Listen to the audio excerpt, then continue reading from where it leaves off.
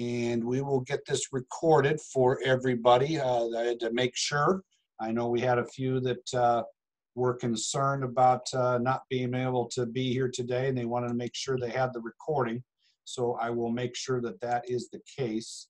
Um, chapter 14 and 15 really a lot of it lends itself to uh, more so being in the problems uh, rather than you know the content of the workbook um, you know uh, depreciation is a hard teach um, you know it's a it's a concept that uh, for a lot of people is very difficult i know my in session classes uh, were actually taking an extra day um, just to kind of cover depreciation and do some exercises, if you will. Um, so you know, it just uh, it kind of gets us to that point. Um, you know, either you get it and you understand it, or it just you know you never grasp it. Um, and I'm hoping that I can simplify it best as I can, uh, so that you guys can walk away and say, "Yep, I get it. I understand now." So but uh, we'll kind of talk about uh, you know some of the things that go on with that and we'll do some of the problems and like i said once we get into the software sometimes it's much easier to see it in action than it is to uh, actually um, do it uh, the other way so let me get the textbook up here i had it up to save it and somebody closed it on me so let me get that up there so that we can share that and then we can talk real quick and then we'll go through some of the exercises. So actually, even though there's more content, we may be a little shorter on time today as far as the length that we'll go through things. So, okay. All right, one more chapter here.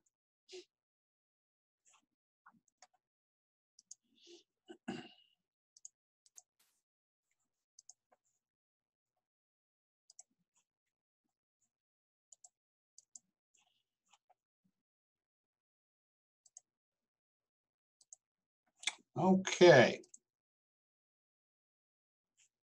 Uh, whoop, before I do that, um, we do have one more logistical thing that we need to talk about. Um, that is the final. Um, the way the final works and the way I've done it in the past, and, and I will be sending out an email to the entire class. So I hope that everybody's been getting those emails. But uh, the way the final works, you know, if you look at the itinerary in the class syllabus, is uh, um, next Saturday we do um, a lot of the uh, final wrap up, talking about healthcare and amended returns and things like that. But I'll be sending out an email probably not till tomorrow. I actually am uh, going to be as soon as we're done here this evening. I have a fourth birthday party for my grandson. Um, it's actually a monster truck party, so I'm pretty excited. But uh, so I'll probably send out the email tomorrow um, that will have that. And um, as it says there, that uh, we'd like you to come into the office, uh, our corporate office at uh, Colvin Boulevard, and uh, to do your um, final. You know, we have the computer lab here. So we'll probably schedule that uh, through this week and the beginning of the following week. Obviously, I'd like to get it all done for everybody so you don't have to worry about it uh, as we approach the holidays. But uh, the final is, is really something for those that uh, especially plan to work for us. Uh, we'd like to have you come in to do the, the return uh, here in the office. Um, you know, not that you're going to be timed or anything like that, or that we're going to be looking over your shoulder. Uh, but for me, it's, it's, it's great too because, uh, you know, I can kind of know what happened on the um, to your return in the final uh, just based on the errors and the mistakes and the numbers that I would see on the printouts, the PDFs.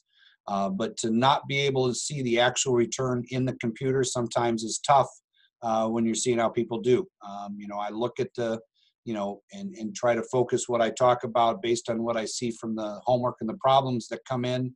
Um, try to, to, to decide what I'm going to talk about and emphasize uh, based on what I see in the PDFs. But again, I'm just not seeing, um, you know, the actual tax return to be able to know, you know, uh, what box, where did you click this, where did that go? Because some of the stuff that that is on the computer when we talk about some of these worksheets and some of the other things that we may talk about today, you know, they just don't print out with what comes in. So I don't see them. And, and sometimes I don't see the state side and there's a lot of things that are very important on that side as well. Um, we will have some things, I know some people get concerned, but you know, even prior to the uh, time that you, um, you know, start in the office, you know, there'll be a time when you do come in anyway, after we talk about employment to you, that you'll come in and you'll do a, uh, you know, we'll do an interviewing skills, if you will, or, or type of thing where we sit with you a little bit more and sit with you face to face, one on one to be able to spend time with you, you know, doing the return with somebody sitting across the desk from you and, and teaching you some of those other skills and fine tuning the things you do uh, within the software. Okay. But yes, I'll be sending something out. I'll be, have some times. Um, it used to be that uh, we were pretty limited, but now with our new corporate office and having a computer lab with several computers in there, you know, time to come in is pretty wide open. Um, I have times that uh, you know are, are towards the um, um, you know the end of the uh, the day, so we're always good there too. So all right, um, let me just get something set up here.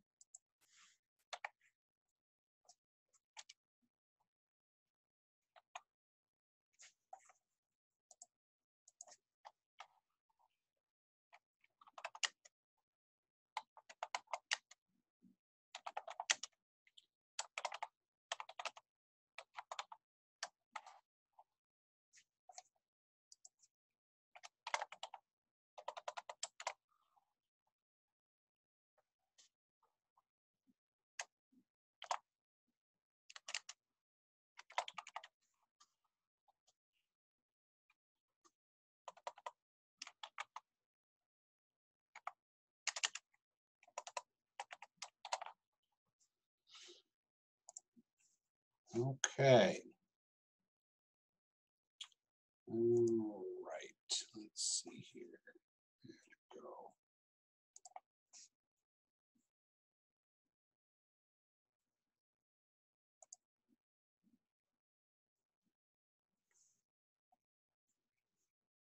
Oh, There we go. Okay. All right, so we're gonna get into, uh, this is, uh, part two of the business income. Um, if you remember from, uh, last time, uh, we talked about, uh, really the gross income. Uh, we talked about, uh, you know, if we had inventory, uh, we had cost of goods sold. We talked about, all the items that would be expenses. Um, we talked about, um, you know, the different things that would go into the return. Um, as far as, the expenses, we talked about some home office things. Um, and again, with what we're gonna do today with the, uh, problems, um, we will kind of expand a little bit more on that. I'll talk more about that uh, when we go to do the problems that we're going to do. Because really, the problems, uh, 13 and 14, um, 14's problems really are just 13's problems, but we're adding depreciation. Uh, so we will do one of the problems that we have in there. Um, we'll talk about the things that you can do with depreciation, especially when you're talking about a tax return that may have a balance due uh, depreciation and using special depreciation or the section 179. And I hope that uh, those of you that read the chapter 14, uh, you were able to stay awake through the entire uh, chapter. I know that it's very tough reading, but uh, we hope that uh, you know that you were able to. Um, we'll we'll talk about it and, and try to make it as simple as we can. I know there's a lot of information there about depreciation, but we'll we'll talk about that because it's uh it's it's a tough one. It's a tough one. So, all right.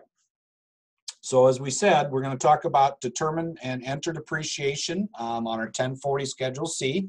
Obviously, we'll talk about uh, entering it uh, when we do our Schedule E in the next chapter. Um, we're going to talk a little bit about things that pertain to clergy um, and what special things happen with their tax return. Uh, we're going to talk about the self-employment tax, how that works. Um, we're going to understand the self-employment tax as it relates to clergy or a statutory employee.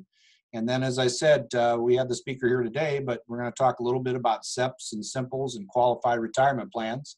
Um, you know, what was, uh, you know, how those work and the uh, how advantageous they can be for somebody that's self-employed. Okay.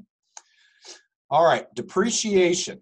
All right, I realize it's a big word, and if you're not an accountant, it can be a scary word because depreciation sounds like some hocus pocus, you know, hey, my accountant does depreciation for me, and it sounds like it's something that's special. Um, I'm going to try to simplify it, and this is the way I teach it. Um, I hope that it works for you. Um, it seems to grasp for my students.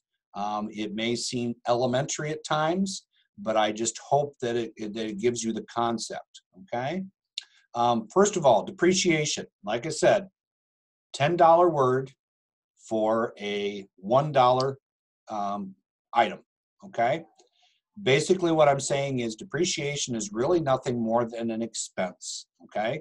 Now, it's a special type of expense that we can maybe use, um, but it really is just a line item expense. It falls on our Schedule C under expenses. It's not like it has its own special um, area that, that is different from the Schedule C. If we have something that is depreciable asset, we use it on our Schedule C, okay? But really, it is just nothing more than an expense, all right? Um, as it says there, most types of tangible property, such as buildings, machinery, vehicles, furniture, and equipment, are depreciable. However, land is not. We cannot depreciate land, and, and we'll talk about that when we get into chapter 15 with the rentals, okay? Um, you know, certain intangible property is depreciable, some intangible property may be amortized, okay? Um, you know, startup patents, copyrights, things like that, basically we're gonna amortize over the future. Uh, don't see a lot of that. Uh, more so people are buying things that are depreciable assets that you have, okay? All right. The next part about depreciation is that, you know, it talks about here that uh, there's some requirements. The taxpayer must own the property. The taxpayer must use the property in business or an income producing activity. Um, if the taxpayer uses the property for business and personal use, the taxpayer can deduct based only on the business use of the portion. Uh, the property must have a determinable useful life of more than one year. Um, just as a side note, you know, we get into, um, you know, we'll talk a little bit too, like I said about it. But computers, they've created kind of a gray area. And what I mean by that is that there's kind of this gray area that we come into play with the fact that, um, you know, we have, um, you know, different um,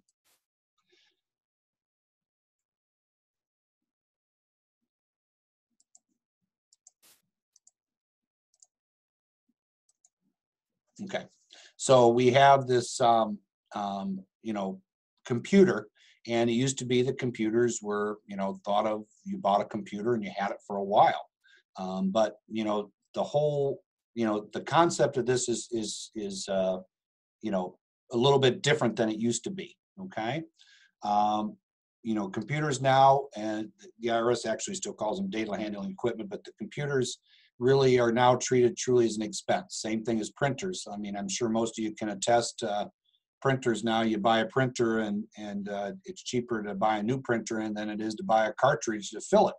So you know, the handling of things like that has changed. I mean, I realize computers should have more than a uh, uh, one year of useful life, but because of their nature, the IRS has pretty much said that they're expenses. And uh, we can use um, we'll talk about um, de minimis, uh, you know, the uh, to take that into account uh, for being able to protect, uh, you know, our, our expense, our excuse our asset and take it as an expense. Okay. Um, the other thing that we have here is uh,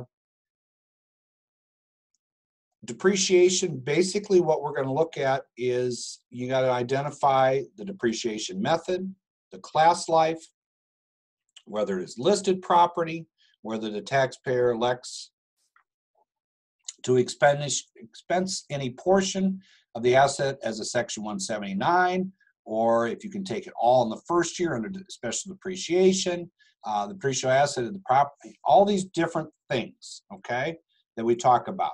Now, the big thing is, oops, hold on one second here.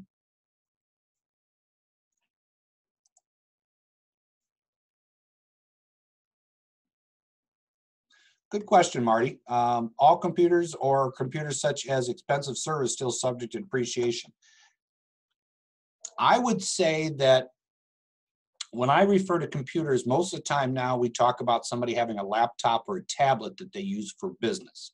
If you are in a business where you have to purchase an expensive server, yes, I would say that that would still go into depreciation. You know, most of the time when I refer to computers, Marty, is that I'm really referring to that laptop, that tablet, you know, even that desktop. You know, if, if I'm buying a four or five thousand dollar server to run all the things for my business because the nature of it, yes, that's depreciable. Okay. All right, good question, Marty. Though appreciate that. Um, the next thing that, uh, well, here's the way we're going to do this. Okay, so we're going to take and we're going to look at this. The way I want you to treat depreciation is I want you to treat it like a pie. Okay, and I realize we're let's see,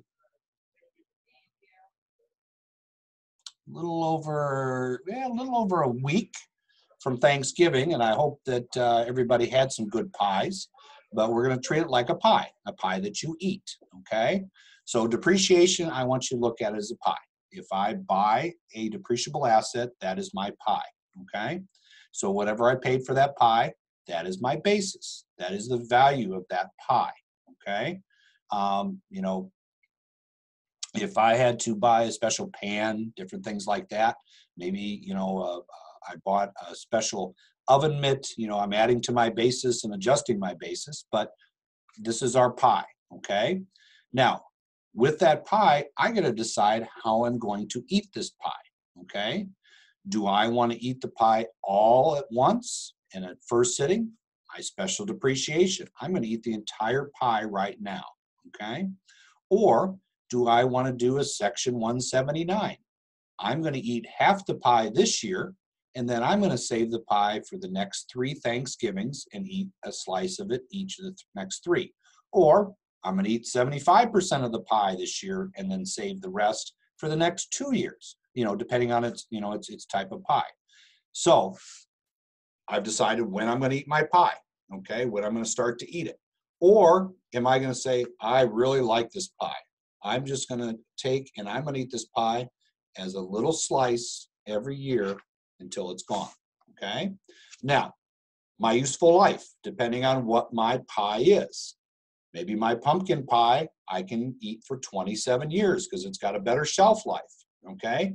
My mincemeat pie, I get to eat it for seven years. My apple pie is five years. So you can see my different type of pies based on my asset. How long can I eat those? All right. So that's really what depreciation is. Okay. And then we talk about this MACRS, we talk about GDS and things like that. Basically, what I'm saying with that is how big is each slice of my pie each year to eat? Okay. MACRS is telling me how I'm going to cut up my pie. What's the first year slice going to look like? What's the second year slice going to look like? You know, again, if I have my pumpkin pie that I get to eat for 27 and a half years, how big is each one of those slices going to be? If I have my apple pie that I get to eat in seven years, how big a slice is each one of those pieces of pie going to be? So that's really what depreciation is. It's really just when you're going to use the expense that is the basis or the value of that, that asset. Okay? So when we see MACRS, um, we talk about some other things. Pretty much what we're going to do is, is everything that we do as far as um, through the uh, software. Uh, when we have an asset put into service, we're going to do MACRS and we're going to use GDS. Okay, so we're going to have that. But as it says, as we go along here, you know, date placed in service, very important. Okay, um, when we start to talk about our convention, um, it's important to know when it was placed in service. Uh, when we get into rental property, when did I buy my pie? Okay, did I buy my pie in March? or did I buy my pie in October? So that makes a difference too. So we have to decide when the item was placed in service. And again, it's placed in service. Um, I always give everybody an example when we start talking about uh, a landlord, okay? He might buy three furnaces because he got them on a scratch and dent closeout. but he only has two properties. So he replaces the furnaces in two properties, has a third one. He cannot start to depreciate the value of that furnace until it is actually placed in service, till it's actually warming and blowing heat in the house. Okay. Otherwise, it's it's just something that's there. So it's not a depreciable asset until it's placed in service. Okay. Uh, when we de- determine the property's assets, you know, again, we talked about uh, you know the the basis for that. We have to make sure that we figure out what did it cost us. Okay. Uh, what did it cost us to put it in, and what did it cost us to install it? Okay, not just the purchase price. So again, when I talk about depreciating a furnace for a rental, I have to make sure I realize the installation may be part of it. Okay.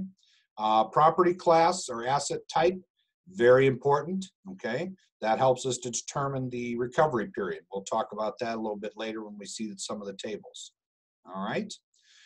Now, what MACRS and GDS does for us is that it really allows us to kind of front load or use uh, more of the depreciation in earlier years if we choose just to take normal depreciation and don't use the special depreciation or the section 179 so you know this is where versus straight line where we just kind of take it and slice the pie into equal pieces you know we're going to make like i said some of the pieces of the pie bigger in the beginning and a little smaller as we go along okay so that's where we have the different, uh, you know, the uh, uh straight line versus the, the GDS method, okay? All right. As I said, we're going to kind of take a look things, and this is where we have under the general depreciation system, you keep hearing me call GDS, but uh, under MACRS and GDS, we have what is our um, you know, our recovery periods for everything. Okay.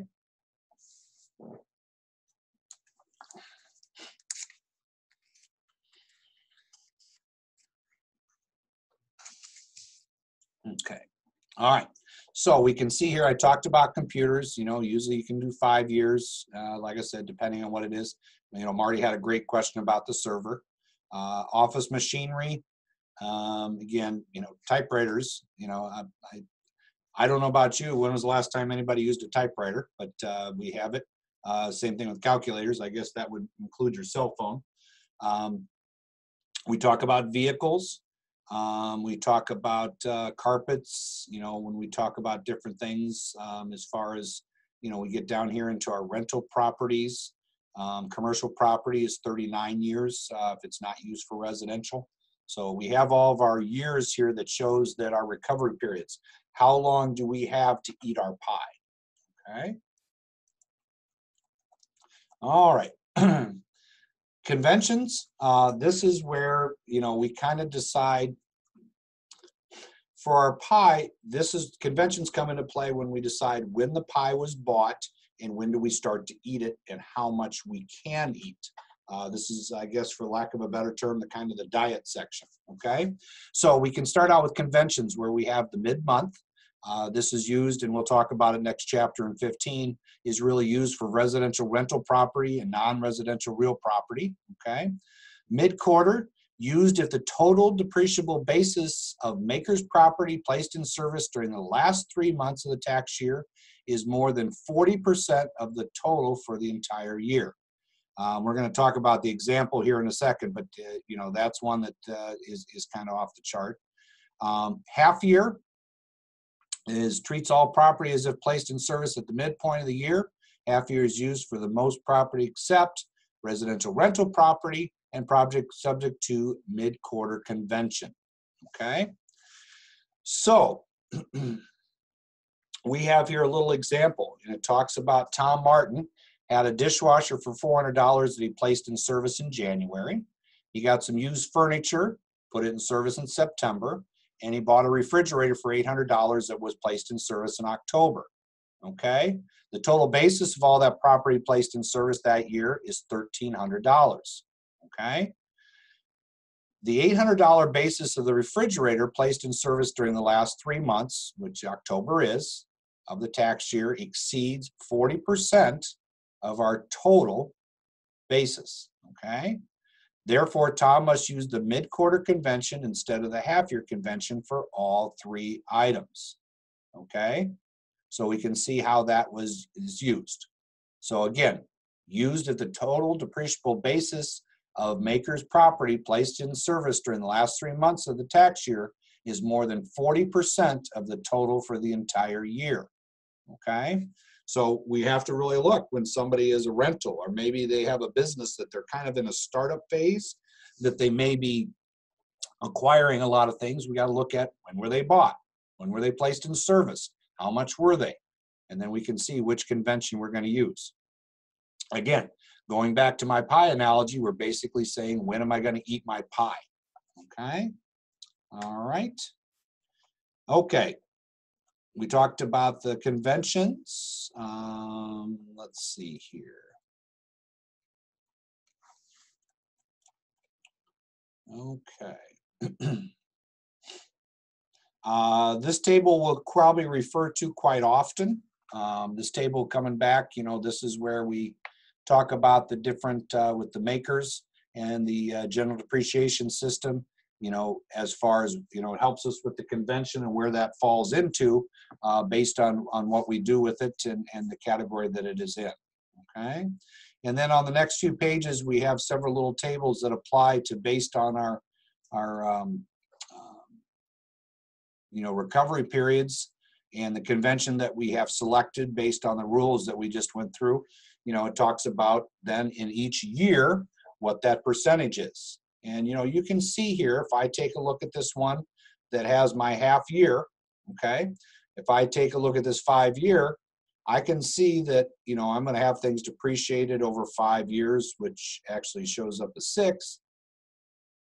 But you can see that if I add the first three, you know, even the first two, I got 52% of my depreciation takes place in the first two years, or 52% of me, of the pie has been eaten in the first two years. Okay?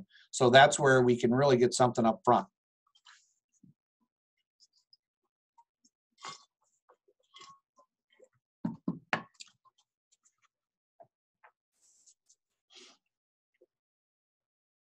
Okay. Um, oh, hold on one second.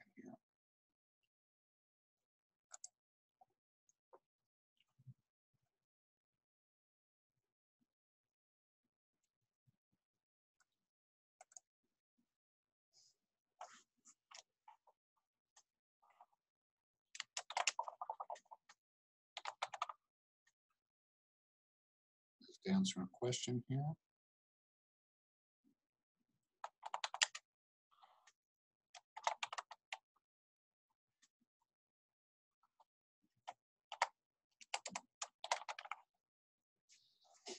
Okay. All right. Uh, so we can see here that we have, um, you know, like I said, this allows us to eat more of our pie in earlier years. You know, I have people in the classroom sessions that are landlords, and when I explain to them that you know the recovery period or useful life, if you will, of uh, carpet is five years, they all just start laughing because they said there's no way carpet lasts five years in a rental. You know, we're replacing it every two or three years. Well, you know, the fact that we can take the the what we're doing with the the GDS and the MACRS and take a lot of that depreciation a little earlier, it really helps us because we're you know we're covering and expensing some of that carpet that we may have be taking out of service because it's been destroyed so. All right so we have that um, there's some of the again you know we got mid-quarter convention you know based on when it was placed in service and again we have to use mid-quarter if the sum of our uh, you know uh, the sum of the basis of what we've placed in service you know if, if more than 40 percent is in the fourth quarter then we have to use mid-quarter for everything okay um, this is another one that you're going to get yourself very familiar with. Uh, we will come back to it in chapter 15, but this is the uh, residential rental property. You know, somebody owns a double and they rent half of it and they depreciate it, you know, this is what they will do with that. Um, you know, and, and basically you'll get very familiar with this because a lot of times you will have a client or somebody come in that uh, maybe has not been taking depreciation and should have, Um, and we'll talk about that again next chapter. But, you know, you're going to put in a depreciable asset and basically, you know, this pie, you needed to know who made the pie, when they made it, and what ingredients were in it before you got it. And so that means prior depreciation. We need to know how much was eaten prior to us eating what portion of it this year. So again, you know, this is a table that you're going to get very, very familiar with. Okay. All right.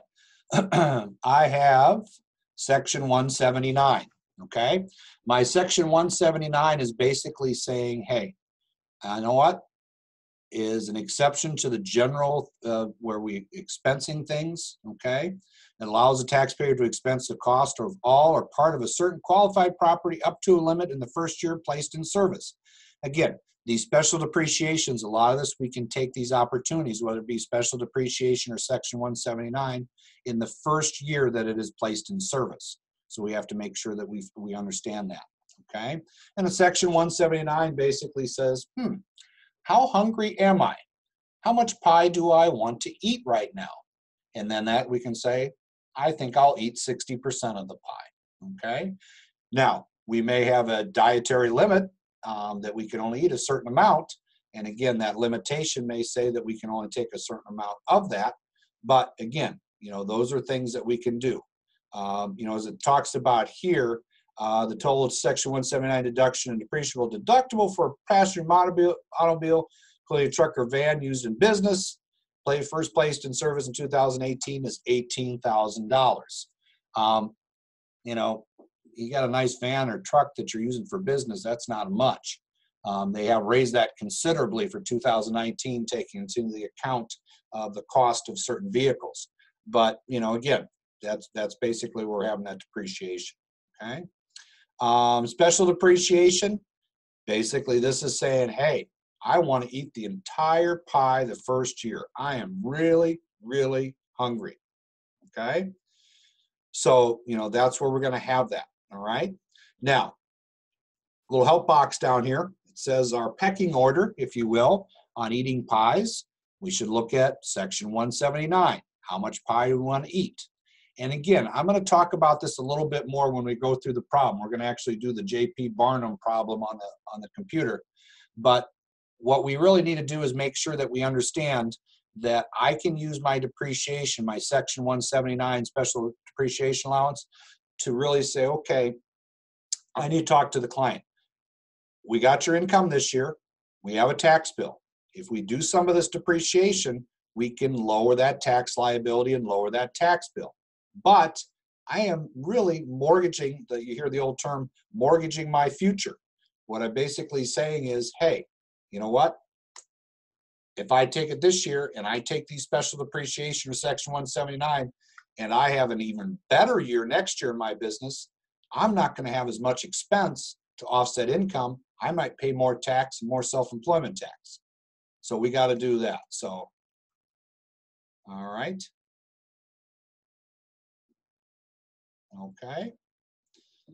All right. Okay, so we have and next, we got some differences between section 179 special depreciation. Um, again, great little chart to have, okay?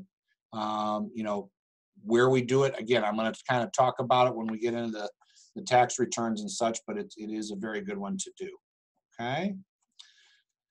All right, so we're gonna do a little bit of an exercise here, okay?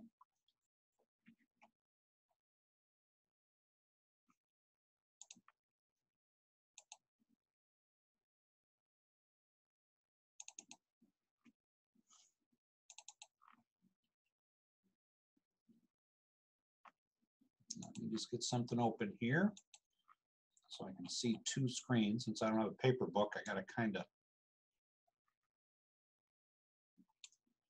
do this between two computer screens here.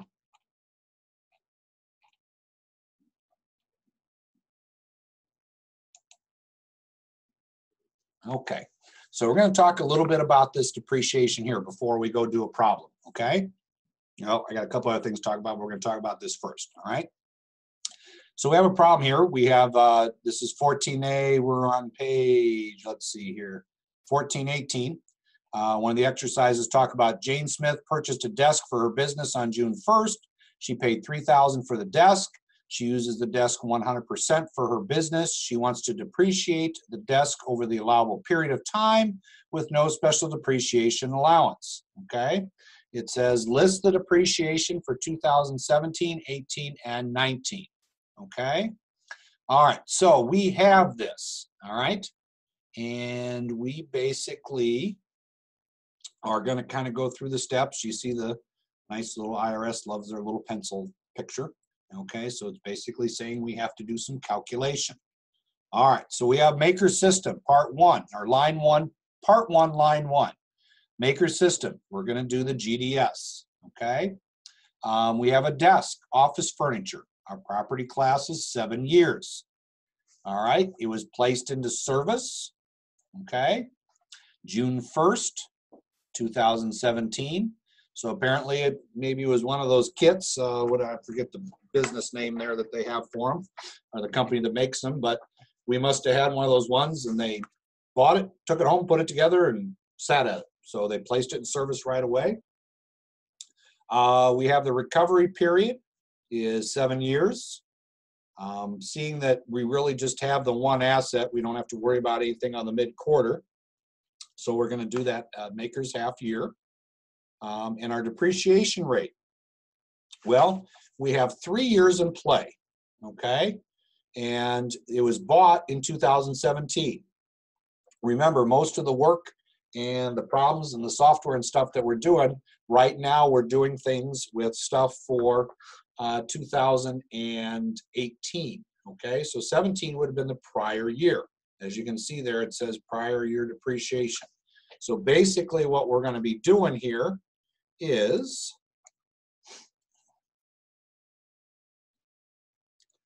we're going to be calculating these three years. Okay, so those are the years that we're going to look at. Okay, all right. Now, I have a seven year. Okay, remember I said that you're going to get a little familiar with some of these tables. Okay, I have a seven year, half year, whoops, Okay, so I have a seven, come back here, there we go. Seven year, half year item that I'm going to be depreciating and it was asking for my rate. Okay, so if I take a look, I have my seven year, okay, and there's my rates. So in 17 being the first year, I have 14.29%. Okay. In the second year, I have 24.49%. And in the third year, I have 17.49%. Okay, so those are the three years I have 17 prior, uh, 18 current, and 19 future. Okay, so I'm going to be using those three numbers. All right, so if I have those, I'm going to go back to our problem here. So in the first one, my depreciation rate is going to be 14.29% okay? If I look at my cost basis, 3,000, how much of it used for business? Well, it says that it was all, she says 100% for her business, okay? So we have $3,000. Nothing is going to be claimed section 179 and no special depreciation, okay? So that means that we're going to take that 3,000 times 0.1429, which is the, the uh, decimal equivalent of 14.29%, and I'm going to get $429. So $429 is my depreciation for 2017. The current year, I'm going to take that 3,000 times the 0.2449, okay, or 24.49%. My second year depreciation, $735. And next year's depreciation will be 525. So you can see how that depreciation works. Now, if I add those three together, okay, I have a $3,000 item.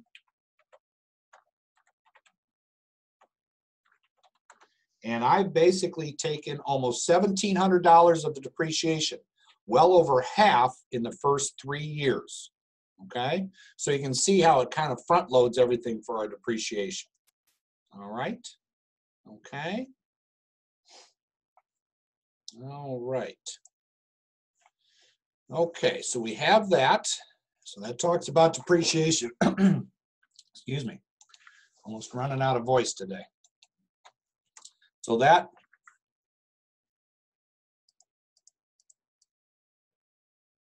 Okay, so that is our depreciation. And again, really it's just a pie.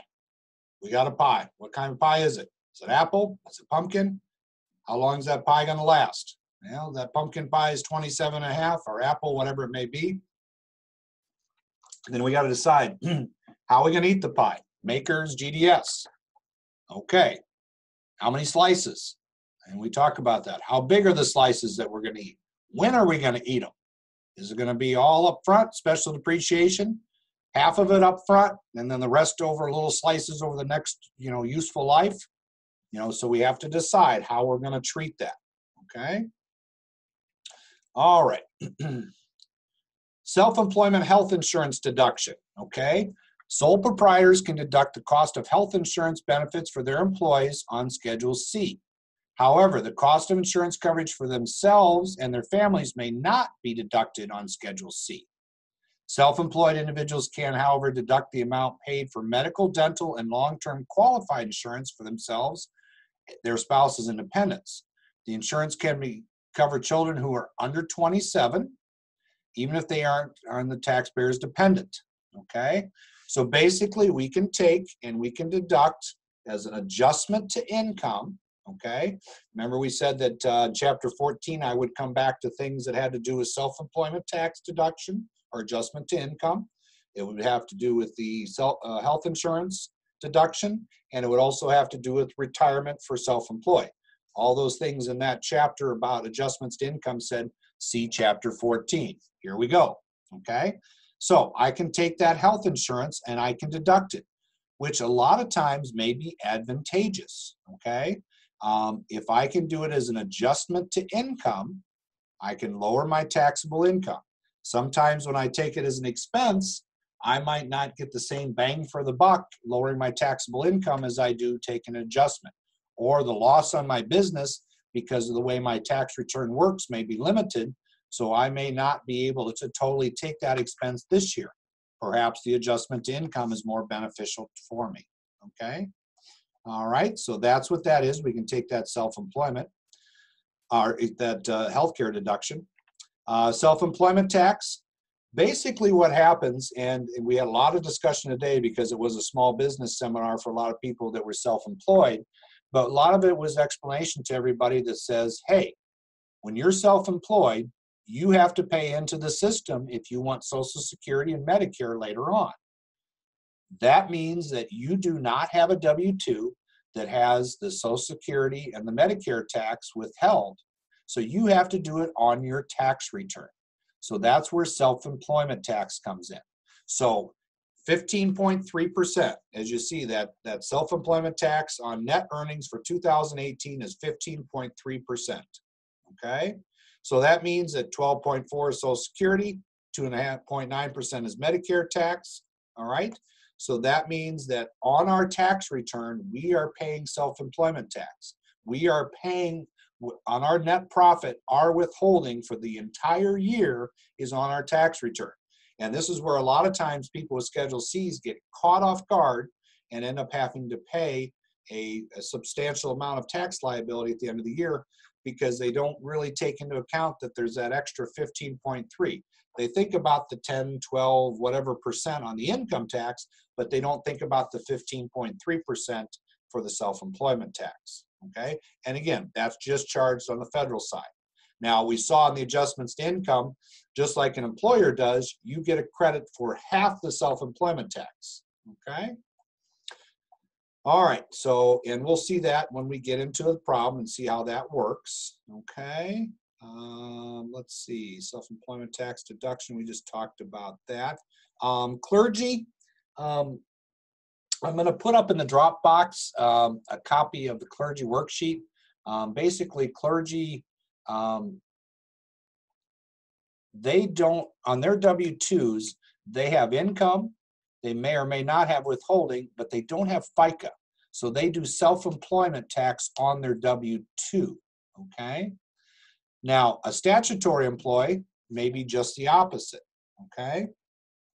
Statutory employee, the way they're handled is that they are W-2 income with uh, Medicare and um, Social Security withholding, but they don't pay self-employment tax, but they can use a Schedule C to deduct their income. And we'll talk about that again too, okay? Now, the other thing too that comes into play when you're self-employed is SEPs, Simplified Employee Pension Plans, SIMPLES, Savings Incentive Match Plan for Employees, and other qualified things like what they call solo 401ks. You know, so these are things that you can also, you know, make sure that you have, that you have for income, that you can make sure that you have an opportunity as an adjustment to income by contributing to these self-employment tax uh, retirement plans, I should say. Okay, so those are a great deal. And the other thing is too, is whereas with the IRA deduction, when we talked about adjustments to income where you're limited to 5,000 or 5,500 or 6,500 or whatever it may be. This one, you know, you could do 25,000 and really help yourself out on income. Okay. All right. So we have that. Um, that's an exercise we have. Okay. All right. So we look good there. Okay. So what we're going to do is um, we're going to take about five minutes while I get uh, the software um, set up here. So we'll take about five minutes, get things set up um, and have that. And then what we'll do on that, okay, and then we're going to do, let me get back to the workbook here. Um, like I said, we're going to do JP Barnum is the problem that I'm going to do. So I'm going to go through, uh, it's, it's 13.3 in your book, okay? Um, page, whoops. In the workbook, it's page 1311, okay? So we're going to go through that because he has one thing and then on chapter 14, he adds some things in for depreciation. So we're going to do that, okay? All right, so if you want to go ahead and get ready, I don't know if any of you have had a chance to do it, but if you want to bring up uh, JP Barnum uh, for the return, but uh, we'll be right back.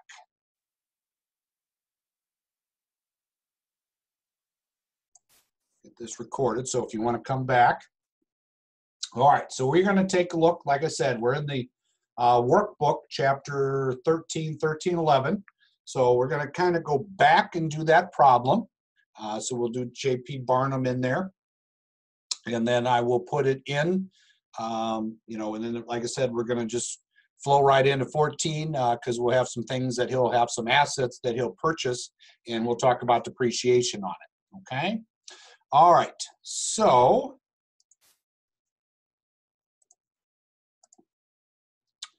All right, so we're in our software here. Um, we have, well, a few bullet points before we get going here. Uh, it says JP filed a 1040 last year.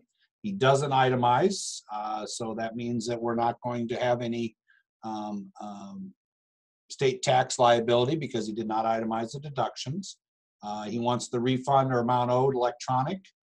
Um, he's going to use, uh, we have information for 2018. Uh, no EIC credit was disallowed. Um, he had health coverage the entire year. And as it says, he is self employed, and there's information about his business. He materially participated. Remember, we kind of covered that in chapter 13. Uh, no payments uh, required for him to issue a 1099, so he did not pay anybody over $600. Okay. And basically, he started selling insurance as an independent agent for lifelong insurance.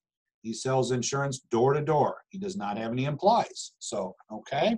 So this is basically where he's at. All right. All right. So we're going to go to his uh, information on 1312. Okay. And I'm just going to wait for the software to come up here. There we go. Okay. So we get a social in there.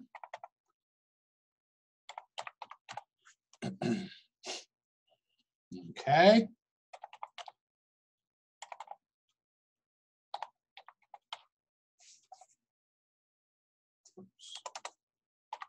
There we go. Okay, so we have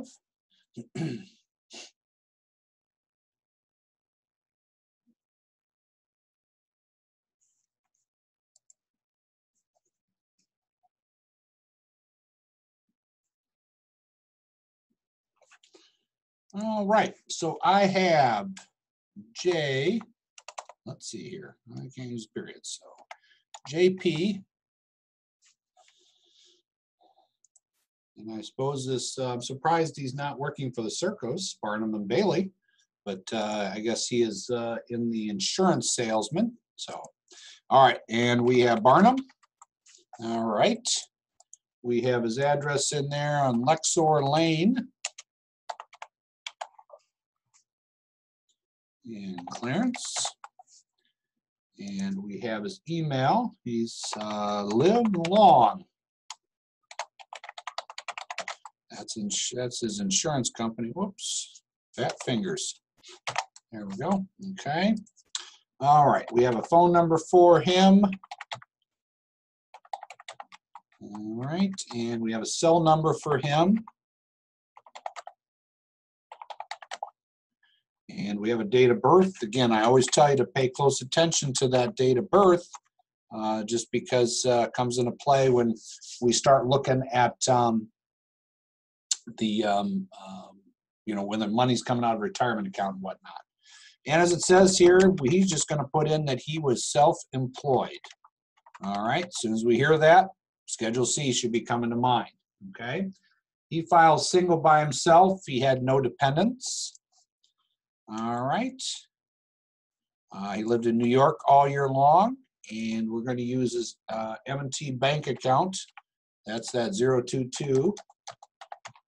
All right, and okay, so we have that there. We have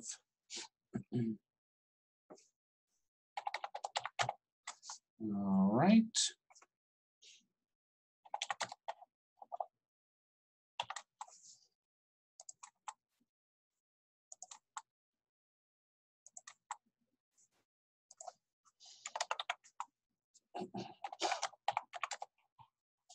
All right, so and he had health insurance all year long.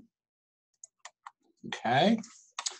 And if we take a look, the only document he has on the top of page 13.3, he has a document for uh, non-employee compensation from Live Long Insurance Company. So we're going to come back to that in just a second. Okay.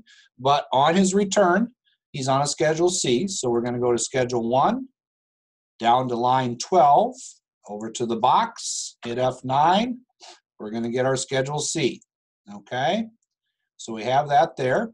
Um, we have that uh, he is in insurance sales. Okay, um, we probably want to look that up. I'll do that real quick to see what the NAICS number is.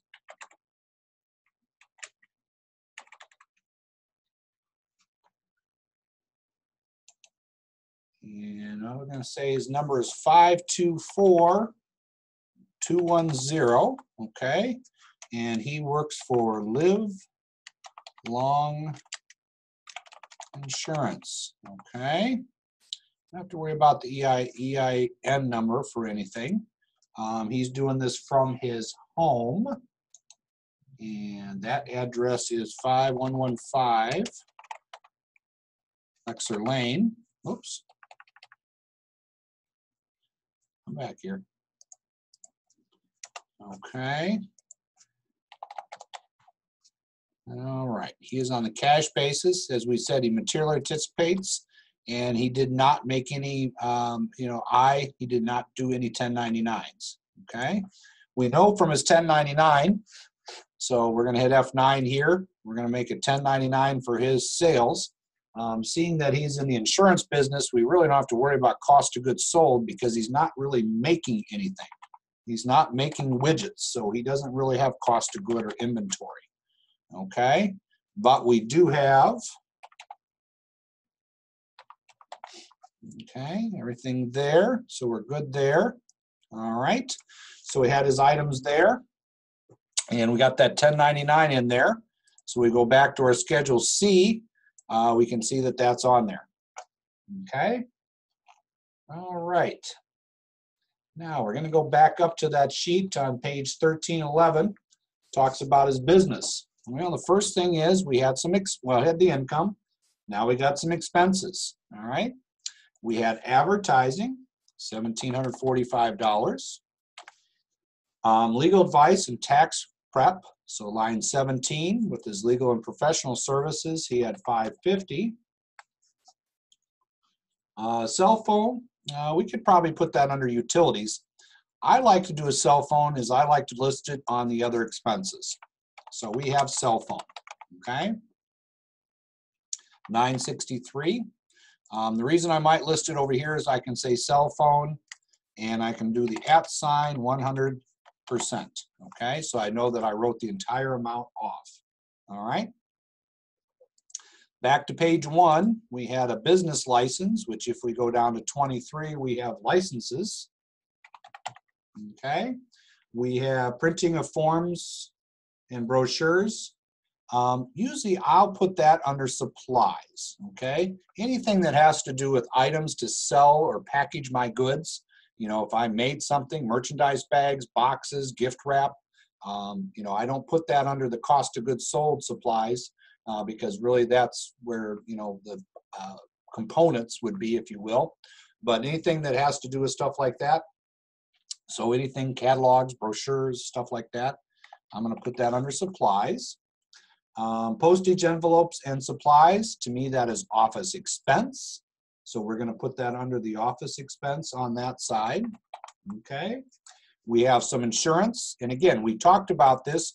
We're going to make the assumption that this is probably like if he's a insurance salesman, it's probably errors and omissions insurance. So uh, we're going to put that under that. We have to make the assumption that it is not health insurance. Um, he did some continuing education. Again, I like to use that other side so that I can put the description there. Okay, so I have continuing education for $1,377. I had uh, website. Again, I like to put that separate so I can see it. I got website 235. Okay. All right, so I have that. Okay, so I have those things that are there. Um, you could take some of these and if you wanted to put them together, you know, you could. But, you know, like I said, I like to use them, you know, on, on the this other expense side and so I can see a little bit more detail. It gives me a little bit more space to type something in. If I really wanted to put something for detail on these and uh, talk about things, say my continuing education, I could go in here, hit F9, and I actually could do a scratch pad, okay? And underneath that, I could say continuing education. I could spell it. Maybe I need to go to continuing education, okay? In case anybody's noticed, there's not spell check in the TaxWise, okay? So then I could list a whole bunch of things. Maybe I had a trip to Chicago. a trip to Boston. Okay, so those would list out all my different, um, you know, I could use it as a scratch pad to give a little more detail there. Okay, all right.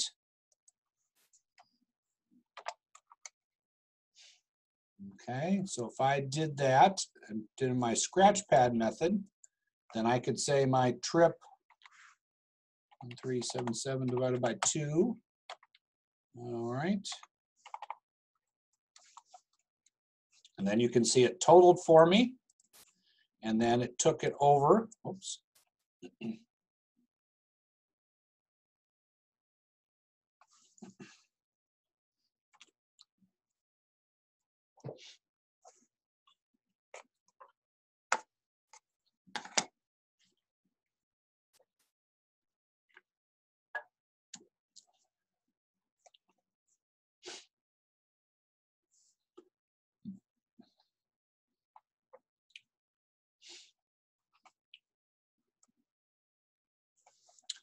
And then it totaled for me on our, uh, you know, Schedule C Part 5, okay? And last thing I had down here was he traveled 14,358 miles for business.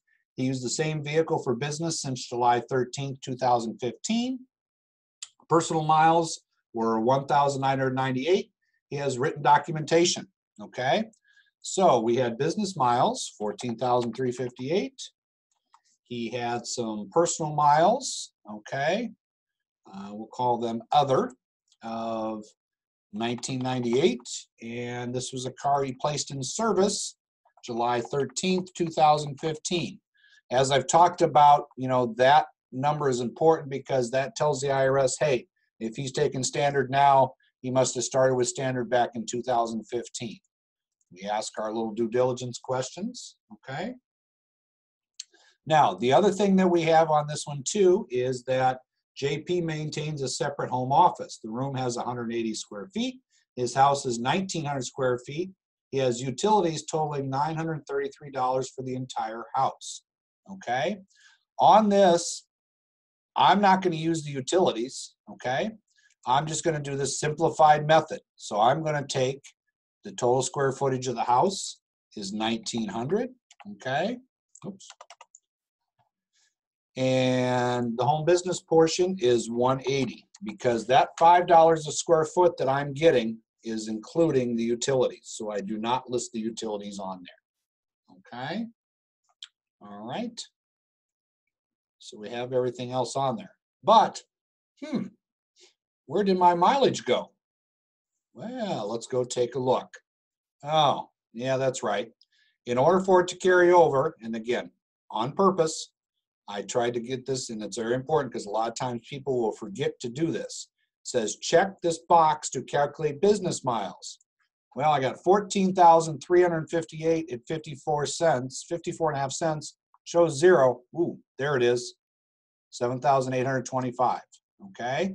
So we have that on there, all right? Okay, all right.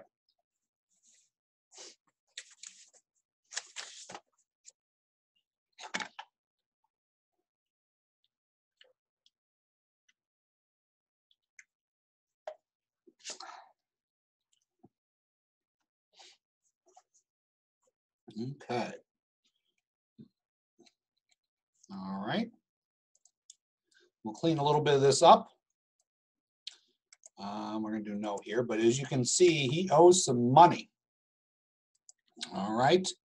So he's going to have to pay electronically. All right.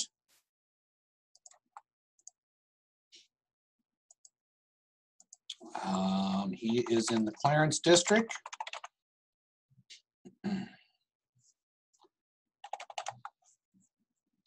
No money in foreign bank accounts. And again, on the same thing, he's gonna mail in a check here. All right. Okay, so we have everything there, so we are good, okay?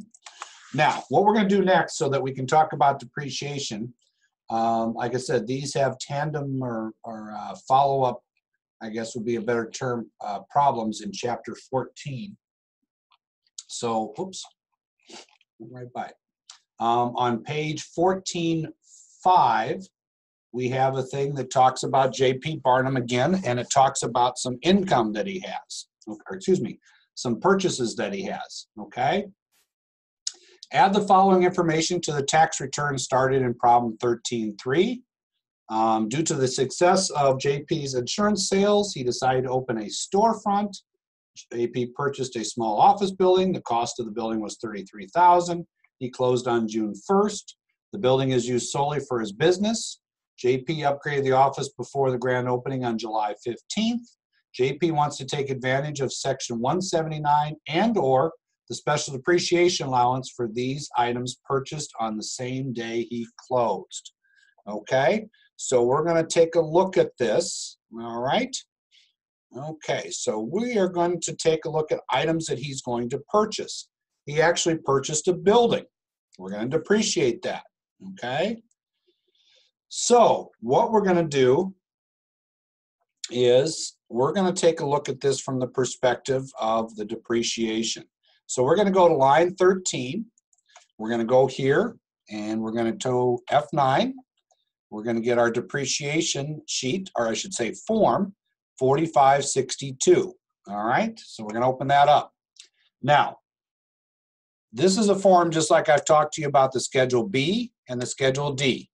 Everything goes on these, but you don't type on them, okay? Other than what I'm gonna do right now.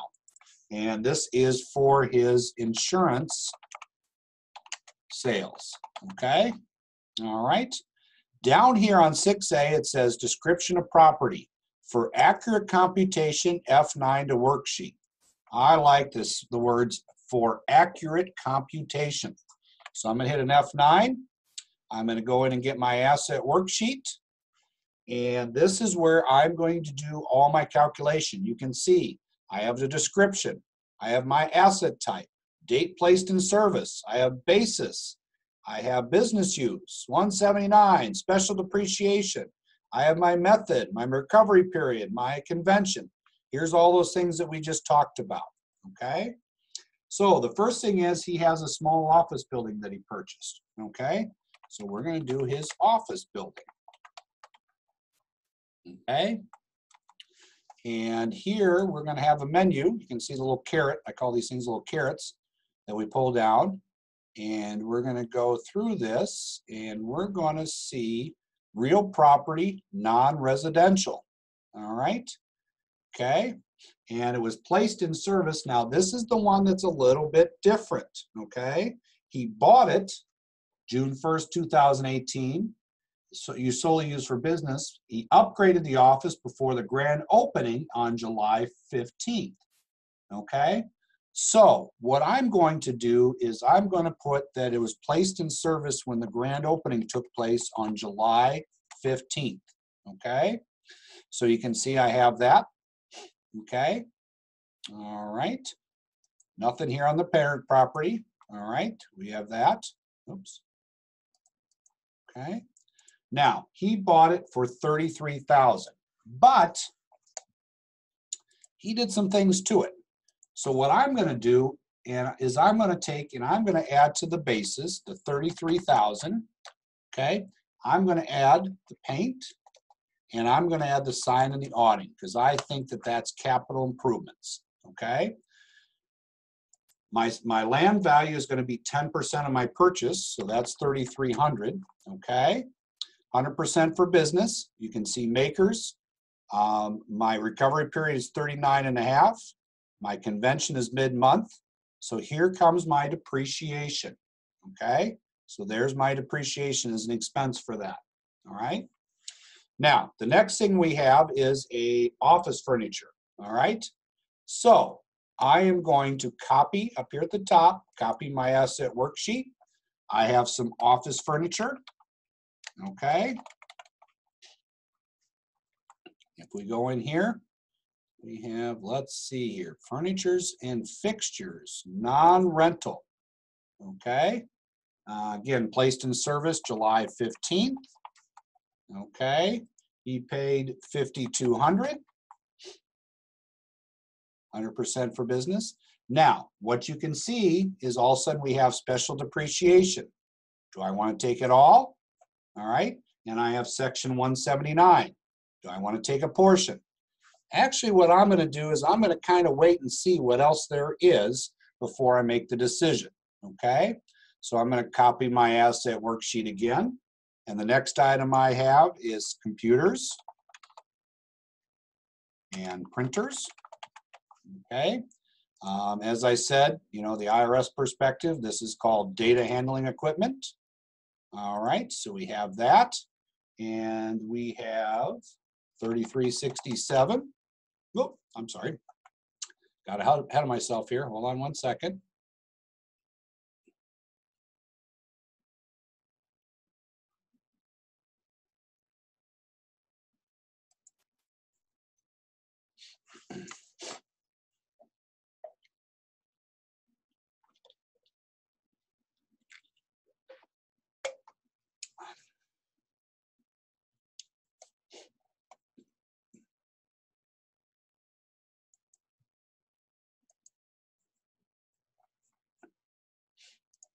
Okay.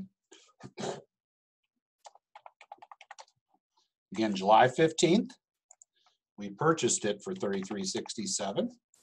You can see the data handling equipment, five years. Uh, kind of goes back to that question that Marty had earlier. This is probably more of a server setting. But again, I have special depreciation, you can see section 179. He owes quite a bit of money. So I think what I'm going to do is I am going to take his um, furniture, and that's part of my startup. I'm going to put that in as a special depreciation. So you can see I'm taking the 5200. It really took and wiped out. I have no future depreciation. And as you can see over here, considerably lowered his tax bill. Okay, so we have that. On the other one, I want to use a little bit of this next year. So what I think I'll do is I'm going to say no on the special, but I'm going to take $2,000 and use it this year. And let's do, let's do 2,500, okay? And as you can see, that got his tax bill below 4,000. You know, before he purchased all this stuff, you know, he had a $5,900 tax bill. Okay, so we've done a nice job.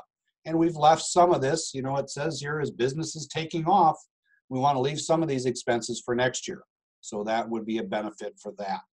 Okay, so basically what I'm saying with this one, and this is the one that gets a little bit odd, is that, um, you know, we really, there's really no true perfect right answer for either any of these problems in 14, um, especially when one has special depreciation and uh, section 179, because depending on how we handled it, we could get, you know, a bunch of different answers. So you really have to just decide how you're going to handle it, okay? All right, so that's depreciation. We're gonna do more depreciation when we do chapter 15 here in a few minutes. So let me get this one in here. Now I have put this up in the Dropbox. I know somebody keeps stealing it out of there. Um, let me double check and see if it's in there any longer.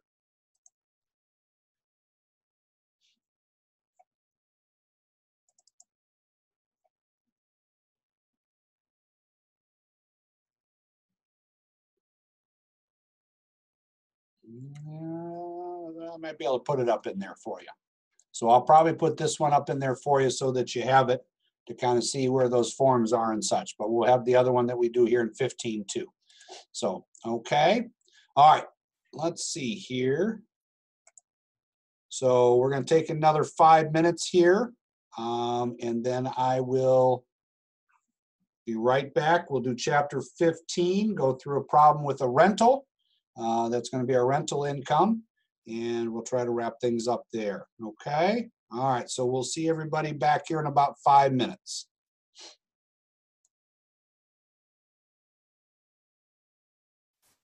Okay. So we're back and we're going to head into chapter 15. Okay. Um, this chapter, we're going to talk about rent and royalties. Not a lot of content within the chapter. Um, you know, as far as uh, what we have on here, um, you know, it, it's the the rent, uh, the Schedule E is very similar to what we see. Oops, hold on one second. You're probably thinking, what is he talking about? I missed my share button. Okay. Uh, the rent is uh, very much similar to um, what we see from uh, the Schedule C as far as its content and stuff. We'll go through it uh, when we do the problem that we're going to do here shortly. So we'll have that. Okay. All right.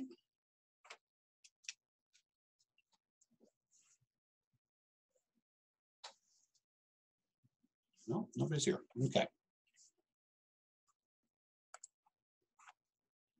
No.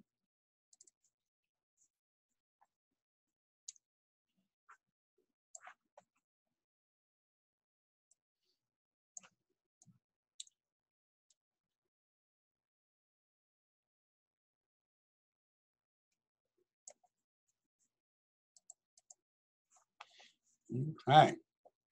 All right, so we're going to talk about rent and royalties, okay? So we have that.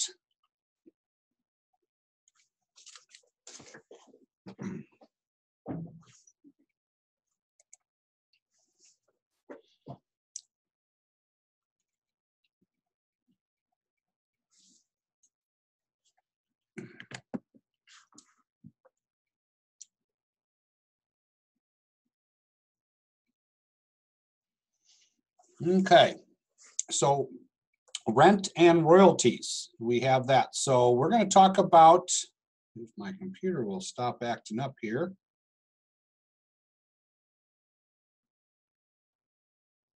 Okay, so we're gonna talk about rental. Rental income. Rental income can be generated from a variety of sources. Uh, personal property, service provided to renters, real estate. Uh, it can be for profit and not for profit. Um, do remember that if we have a rental income is greater than the rental expenses for at least three out of five consecutive years, the IRS presumes that the rental motive is for profit. Um, then, well, the thing is, is that if we are renting below fair market value, say we have a double and we're renting half to our brother, then we uh, basically cannot take the expenses any longer. We show the income on line 21, and we can no longer take the expenses on the Schedule A, okay? Uh, because it used to be under the 2%. So if you're renting below fair market value, um, and you're not in a in it for profit, or you don't have a profit motive, as the IRS says, then uh, we can no longer take it as expenses. So, okay. All right. Um, the following are considered part of gross rental income. Um, okay, so we have, uh, you know, the all the following considered gross rental income. Uh, collected rents payments included late payments and late fees. advance rent, any amount received before the period it covers. Um, expenses paid by a tenant in lieu of rent. Um, the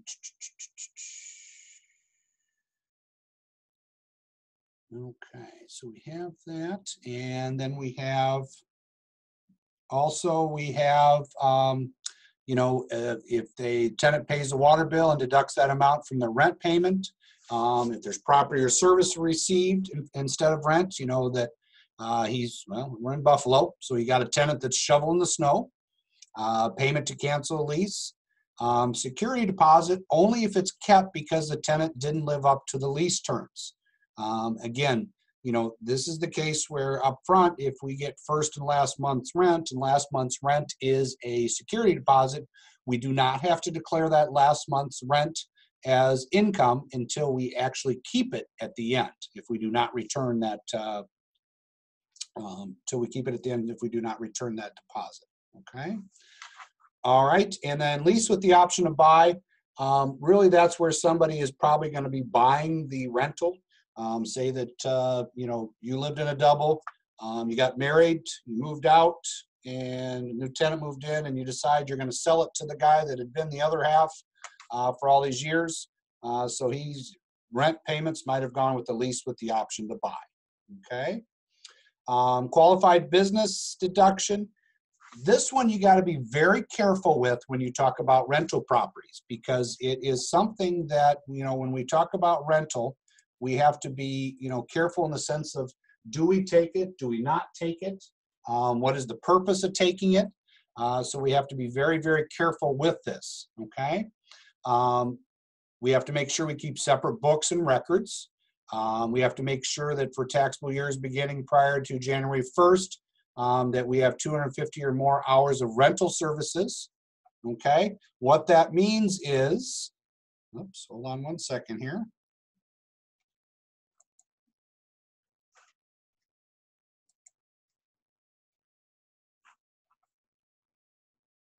I'm having trouble getting the chat up here. Give me one second.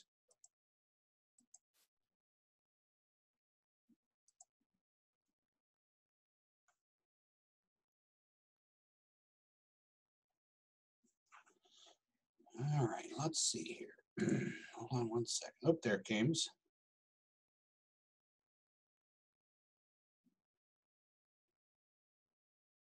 Uh, the interest would be uh, paid when they move it out. Okay. All right. So that's when when you actually cash in the deposits, kind of, if you will, it's held in escrow.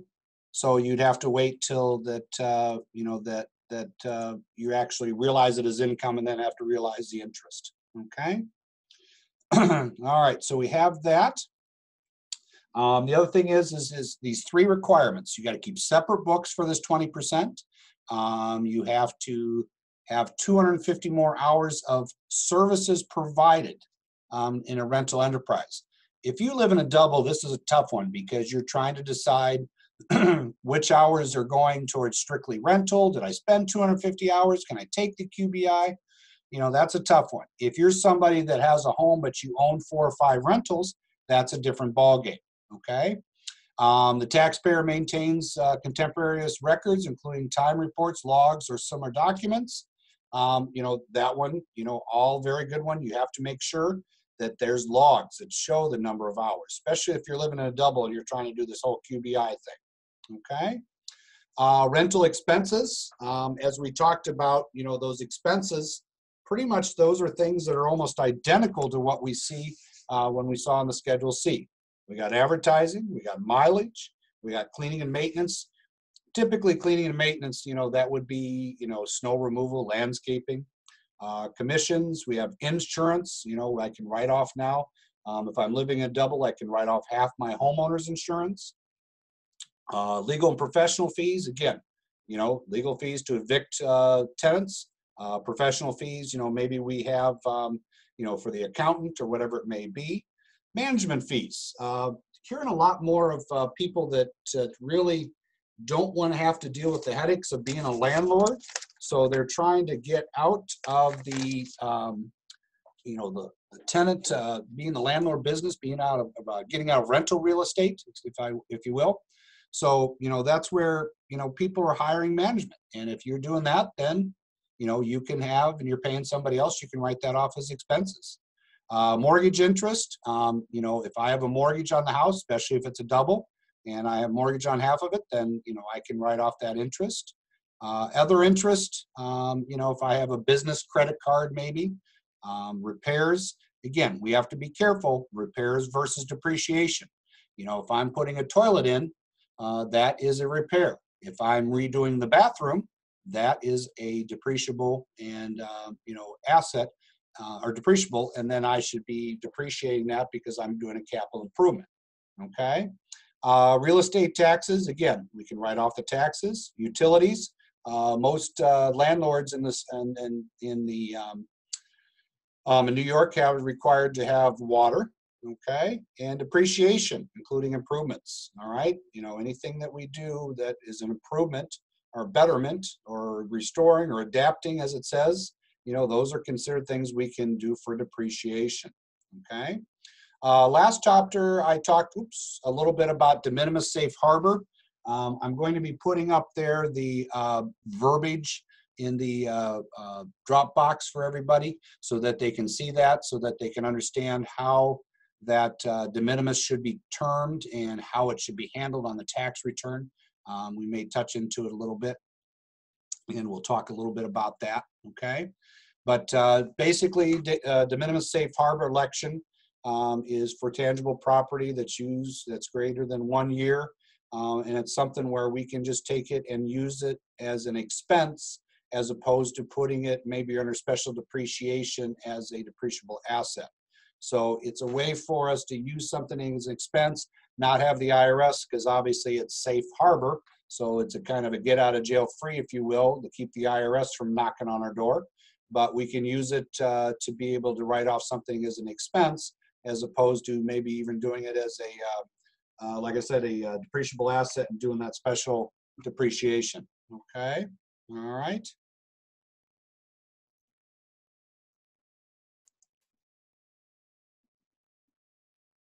Okay. All right, so we have that. Okay.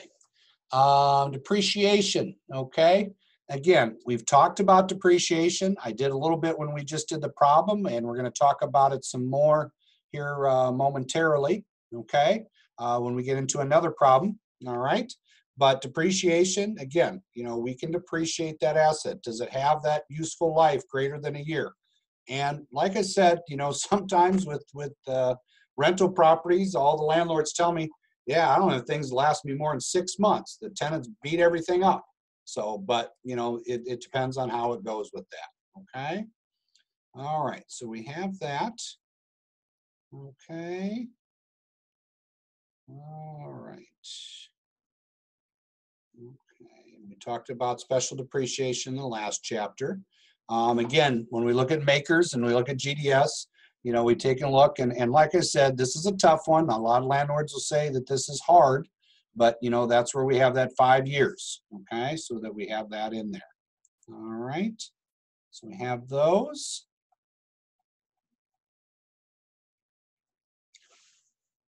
Okay.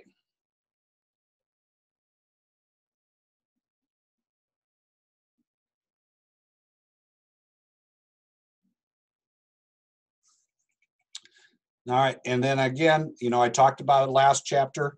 Um, this is a table that you're gonna, you know, you're gonna get to know very well because it's, it's, it's always something that's, that's gonna come back because you're gonna have to do the prior depreciation, okay?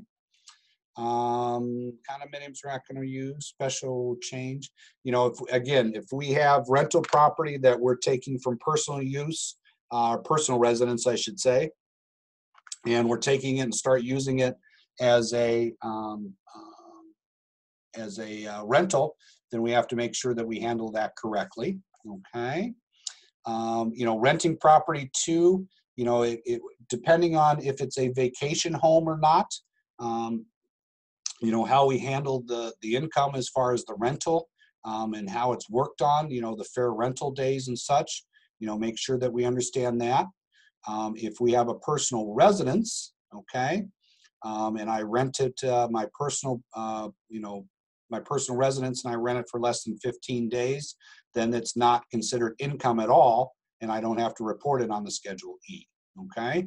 Uh, most common thing for that, um, I don't know if anybody's aware with uh, Oak Hill up in Rochester, uh, golf course that they play a lot of uh, the major golf tournaments at.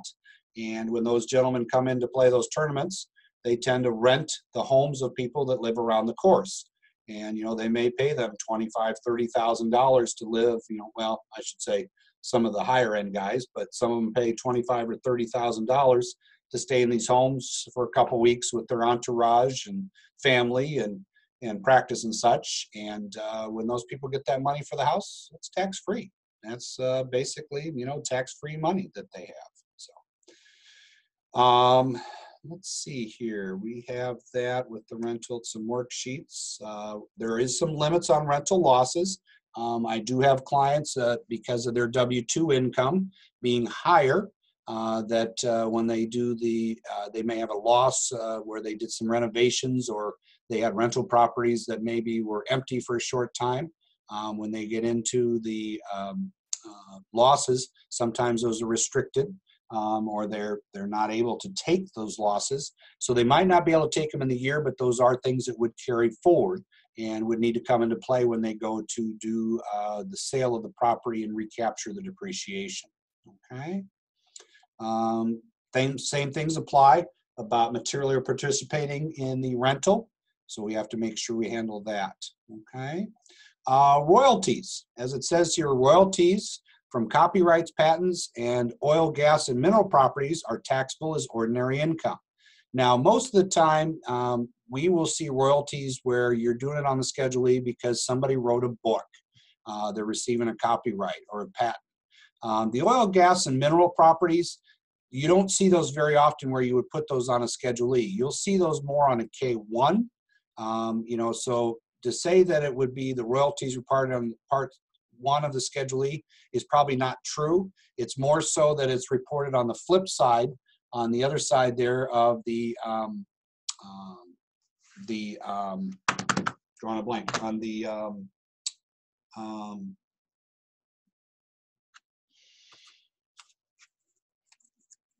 drawing a blank on there. Schedule E, okay? Um, trying to think of the part. Part three, where the K1 goes in, where we have that. So a lot more times that, uh, you know, that comes out of somebody's investments where they have a K1 because their mutual fund or their brokerage account has, uh, is bought into this mutual fund that has um, gas or oil or whatever mineral, gold rights, whatever it may be. So sometimes we'll see it on that, okay? All right, uh, we talking about reporting rental income. Again, cash method, when did we collect the rent? Okay, uh, we're going to use a Schedule E. Like I said, we got to be very careful on the Schedule E, and I'll go through that. Uh, but we're going to talk about that and what goes on there.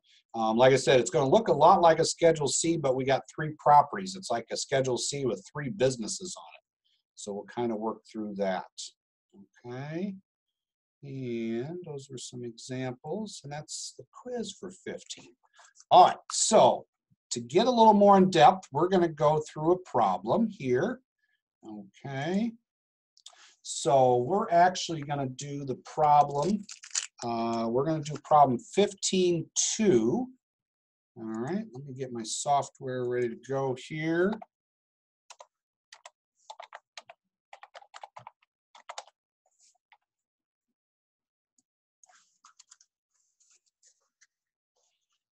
Okay.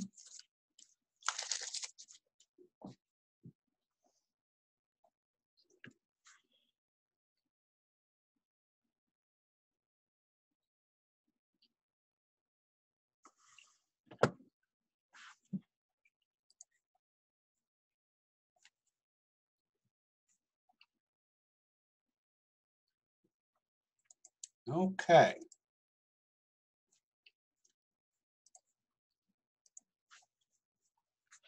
All right, like I said, we're gonna do fifteen two in the workbook. It is in the workbook, page fifteen eleven.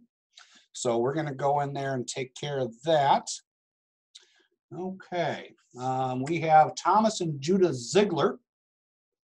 Uh, Thomas and Judith filed a ten forty last year. They weren't able to itemize last year and owe the state an additional four fifty. They paid it on April 6, 2018. If Thomas and Judith get a refund, they would like to deposit into their checking account. If they owe, they will send a check. Uh, use the information sheet and the forms that follow to complete their 2018 return. Neither Thomas nor Judith was a full-time student in 2018, nor did either receive a retirement plan distribution in the past three years. All right. So it talks about all the different things that we typically see. They had health and coverage, uh, but they do own and live in a duplex where they rent one side. And it has information about the home. Okay. Uh, the Zieglers also have some W 2 income, have some interest income. Okay. All right. From a couple sources. All right. They had their 1098 and they have a student that is in, okay, a student that is in school. All right, so they have that. Okay, all right, so let's go ahead and we'll go through this problem. Okay, all right.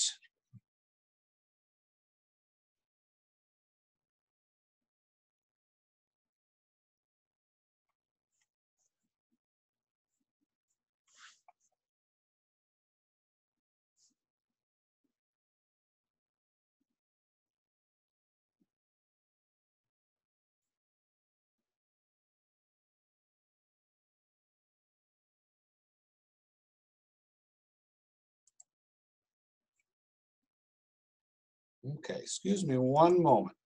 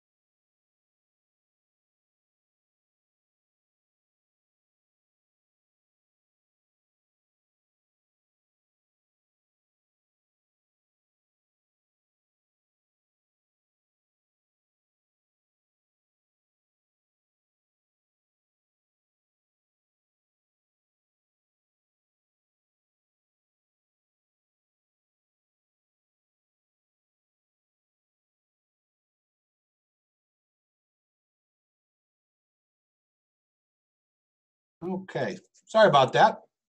I thought I was the only one here. I heard a door and didn't want to make sure nobody was sneaking in on me. Okay.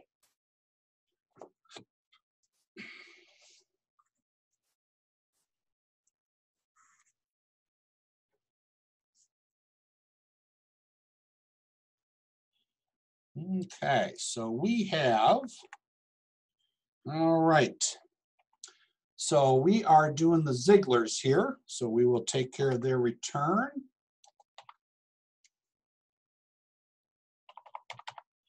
All right.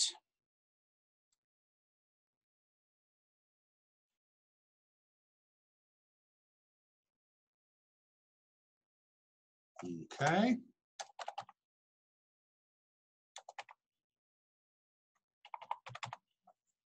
Okay.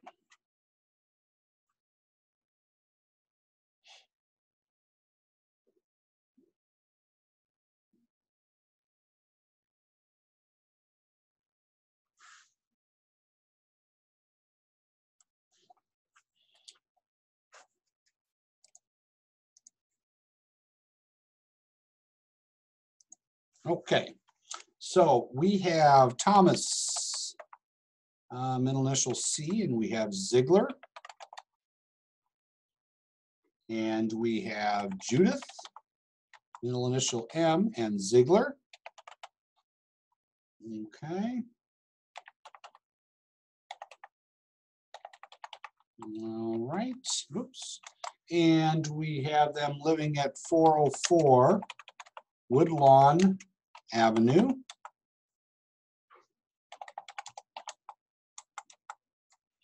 And they are Ziggy at gmail.com. And we have a phone number for them here.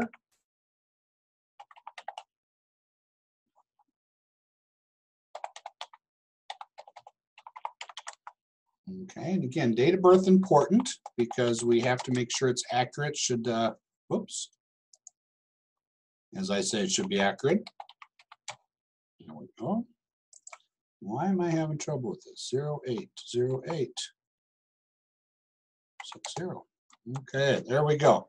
To make sure, in this case, uh, as we see Thomas, you know, fifty-eight, you know, he's approaching that magic 59 and a half. And if we look at his spouse, she is 59.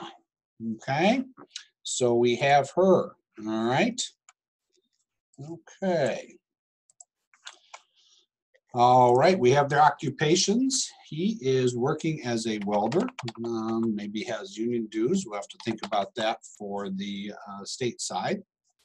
And we have the spouse is a registered nurse, okay? They are doing married filing joint. Um, as I talked about, we have a couple dependents because we did have an education credit there. So we have Herman. And we have his date of birth. And oddly enough, both kids are going to be born on the same day.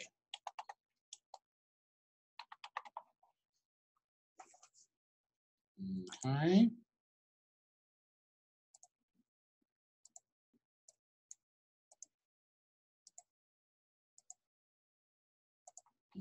Okay, we have that, and then we have Mandy.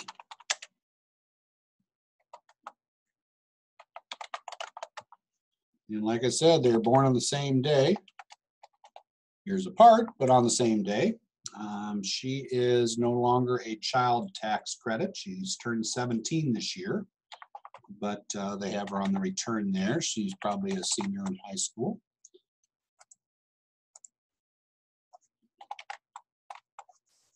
Okay, like I said, I always check the EIC. Uh, lived in New York all year long. As I said, we have bank account information for handling their refund or balance due.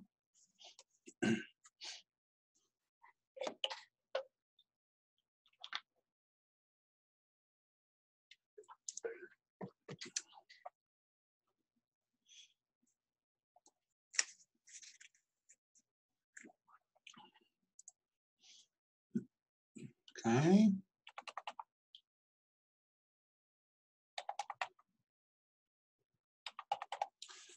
we have bank information there. We have, all right.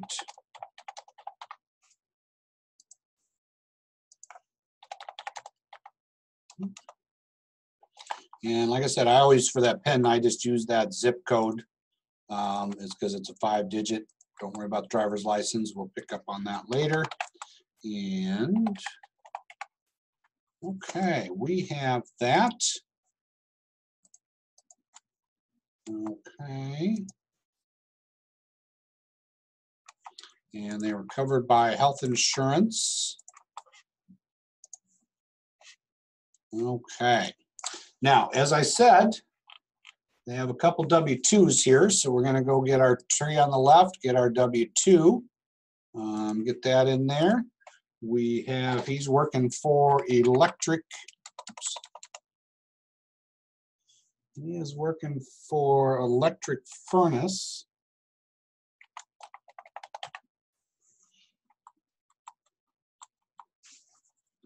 Okay.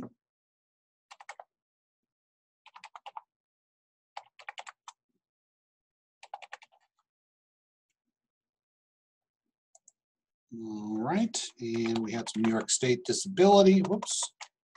And we had that there. Um, as we can see, there's some things in box 12. He had some contributions to some retirement. And the DD code, he had uh, health insurance. We have to make sure on 13 that we say that he was covered by health insurance. And then we have the state withholding. Okay, so we have that. Um, we have, all right, another W, no, we don't have another W-2. We had some interest statements, okay? So we have some interest income. So we're gonna go up to, oops, up to our Schedule Two. Go to, or, excuse me, 1040, page two, go up to line two, we're gonna get our Schedule B, which is for the interest. Nothing goes on the B. Uh, we're going to get that little worksheet and go inside there. We have here that this payer was First National Bank. Uh, we had interest income in box one of 1456. Um, I like to separate out just uh, for explanations purposes that we had bonds 1899.88 all right, and we have a state adjustment because these bonds are not taxable on the state. And then we also had federal tax withheld, so we have to make sure we get that in there, okay? Uh, next one down, we had some more interest income from First National Bank. Okay, uh, $623, so we have that. Now, Last thing we have is we had some mortgage interest. We'll come back to that because we're going to use that on the rental. But we did have somebody in school, okay? So we're going to go to Schedule 3, line 50, pick up our education credit. And we're going to go in there for that. And as it shows here, we had Herman was going to Buffalo State. And that was his social. Okay, whoop. Buffalo State College, okay, whoops. And that is thirteen hundred. We have Elmwood Avenue. All right, one four two one seven on that one. And we have the EIN number for Elmwood. Okay. And as it so- shows on here, uh, his age was 22, and we see box nine is checked that he's a graduate student. So we're basically going to say that he's already taken his American opportunity. We're going to go down here, and now I know from my classroom sessions, we got to be very careful with this. And this is the fact that um, um, we have to find out that uh, we got to make sure that we have um, um, the um,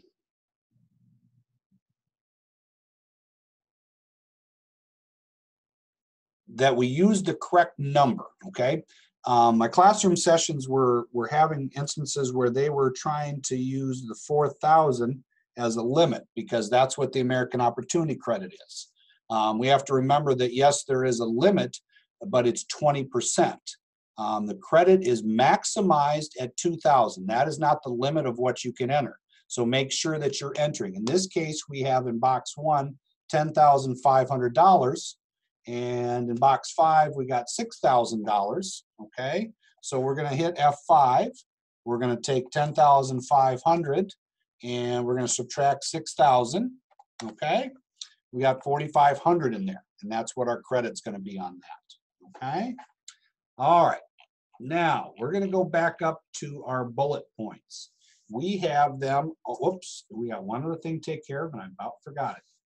Um, first bullet point, they weren't able to itemize last year and they owed a stat, the state an additional 45, $450, okay? Couple options with this. We can go in here and this is what I like to do. Income tax line 5A, where we have that, light it up, hit F9, federal state tax paid, okay? Under the bottom section here, we have New York State and or local balance due from the previous years. We're gonna put our four hundred and fifty dollars in there, okay? So we have that, all right? Uh, the other thing I want you to know on the eighty-eight eighty over here, we have a potential credit, okay? So we're not gonna put that in there. All right, because that gets us an extra two hundred dollars, all right? Because of the contributions to the retirement and the level of income, uh, married filing joint, their income AGI right now is below sixty-three thousand, okay? All right, we have a rental. We're gonna go to schedule one. Uh, remember line 12 is where we did the schedule C. We're gonna go to line 17. We're gonna hit F9. We're gonna go to our schedule E. All right, we have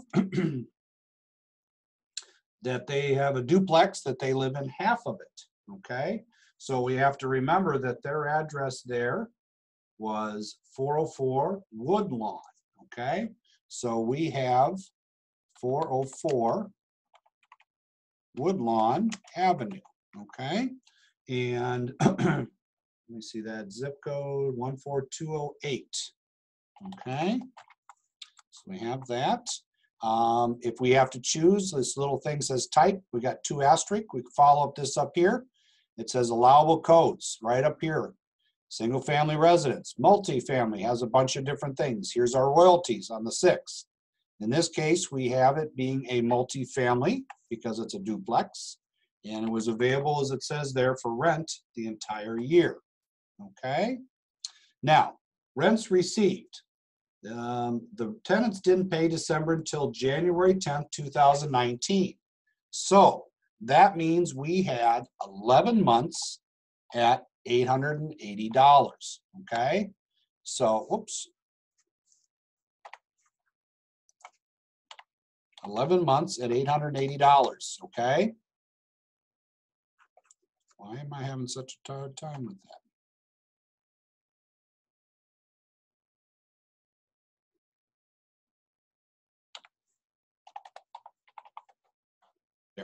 Okay? So we had that, all right? So they're missing one month's rent. Oops, I'm sorry. There we go, okay? Um, we had expenses. We had homeowners insurance, which was 543. So we go to line nine. Again, I can use my calculator on these because they lived in half of it. So we're going to take that and we got 543 and we're going to divide it by two. Okay, so we have that. Now I'm going to go back up. They purchased a duplex on June 1st, 2003. So we're going to be able to depreciate this. So I'm going to hit F9 now, the one thing I want you to stay away from and do not use is you're going to see every time you open this, and you'll think it's the greatest thing since sliced bread, but it's not. That little thing that says rental part year rental ownership worksheet. Do not use these. They do not work well. And plus, they create a headache for the person for the next year, and they're also difficult to work with when we go to sell it. Should we sell the property? Okay. All right. So we're going to hit F9 in here. We're going to get our 4562. And I like to do on these is I like to use the address as my header for the um, 4562. Again, I'm going to go in here, hit F9. I'm gonna pick up my asset worksheet. And we're gonna depreciate the building, okay?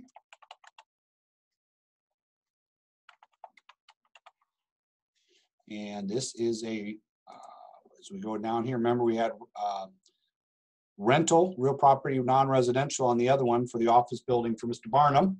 This one, we have a residential rental, okay? We had it placed in service June 1st, 2003, okay?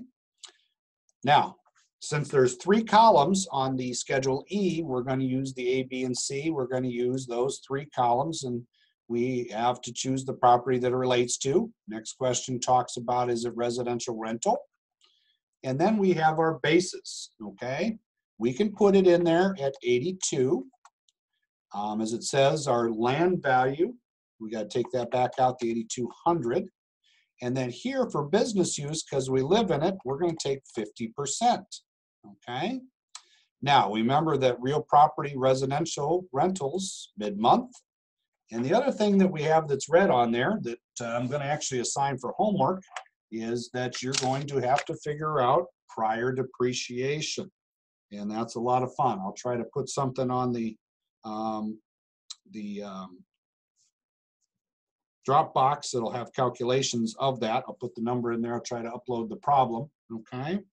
Um, this was 15, just making a note here, 15.2. Okay. So we'll have that. So that'll be something that we can help with on that. Okay. All right, so we have that in there. Uh, we're going to go back to our Schedule E. All right, we have it. Um, next thing down, cleaning supplies for the rental. So we'll put that under cleaning. Okay. Uh, window repair, tenant kitchen. So again, that can all go towards the tenant. Okay. Uh, user fee, garbage and water, 454 every six months. For things like that, I like to use, instead of the utilities line, I like to use the other line. What that is, is it's a nice little uh, sheet there that has a little bit more descriptive area and we have the three columns. So I can put my user fee on there, okay? And in this case, 454 every six months, but we're taking half of it, so they're known as 454, okay? Um, we're going back to our Schedule E, page one. We have paint for son's bedroom, all right? So that paint would be, oh, that's my son. That's not for the tenant. I cannot deduct that. Exterminator, ants around the entire house. Again, I like to use that other expense worksheet and put that, that exterminator in there, okay? All right, so we have that and $160 there. We had legal fees um, for the rental. Okay, so we're gonna put that on there. Must have had to evict somebody or something, but we have legal fees for the rental. All right. Now, next thing down here, we have a couple things that they did to the property. We had a roof was replaced and we also had the driveway was replaced. Both things that we can consider improvements that we can depreciate. So I'm going to go over and grab my asset worksheet from the first one, and then I'm going to hit copy. And I have roof, okay? And on that roof, we're going to use leasehold improvements for the residential. We have, it was done 08092008. Again, we have to choose our parent property. In this case, we only have one. This was for a residential rental. The improvement was 8435, okay? Again, we use mid-month. And again, we're gonna have to calculate some prior depreciation, okay? As we can note on this though, no special depreciation, no section 179 because it does not qualify, okay? All right. And then the last thing we have is one more thing. We have a, oh, the roof. I wonder if the roof was over my half or the tenant's half. Hmm. I bet we have to share it because it's a duplex. All right, so we're gonna have to make sure that we put in that we share the roof. So we'll have to do the 50%.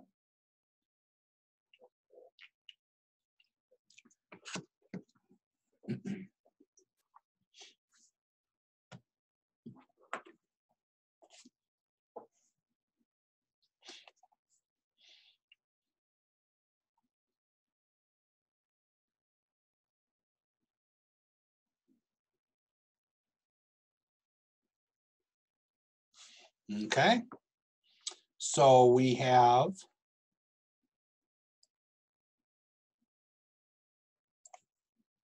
the roof. And again, I've had people that uh, tried to argue with me. Well, I live in a double. I live in the lower. My tenant lives in the upper. The roof's over his half.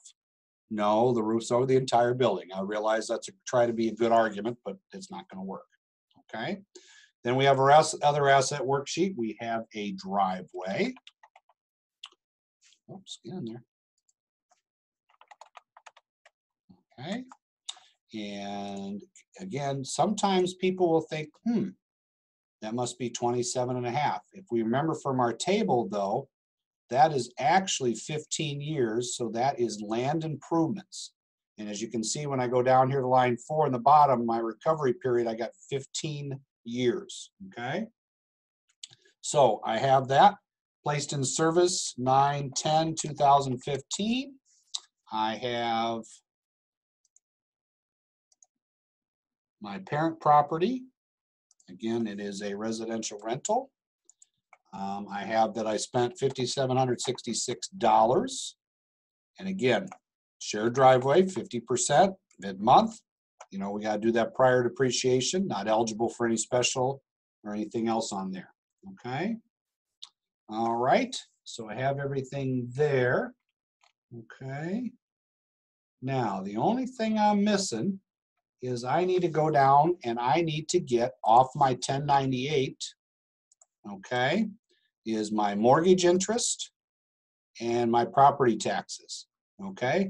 Mortgage interest is on there, but again, I live in half of it, so I got 1901 divided by 2, okay? And then I have my taxes, which are 6654.22 divided by 2 because I live in half. Okay. All right. So I have those on there. And it should be everything on there. Okay. So we have everything on there. So you can see the rental works a lot like a Schedule C. We still do depreciation and everything like that. Um, we'd have a few things to clean up on here on the left, but uh, you know, to get rid of the last of things, but we're in good shape. Uh, the New York 272, because as grad school, we're not going to be eligible for any state graduation, or excuse me, state credit on there. So, all right. So that's the way rentals work. Okay. All right. So we have those. And We'll save this one. We'll put a couple of these up there in the Dropbox. I'll go ahead and put the two problems we did today up there in the Dropbox so we have those. Okay? All right, so we covered 14 and 15 today. Like I said, we did quite a bit. Um, some of it was just expanding on what we'd already done, did a couple of problems. Um, not too bad. Uh, we're kind of that point that, uh, you know, we're adding a little bit of stuff. Um, don't want to get bogged down in depreciation. Like I said, use the pi rule. Uh, make sure you're comfortable with that. Okay. All right. Now, since I got you guys here with me, does anybody have any questions? Specific to anything that we've covered?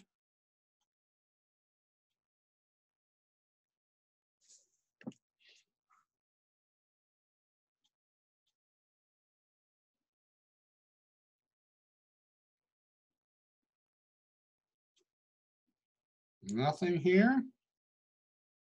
Checking the text to see if anything came in from anybody.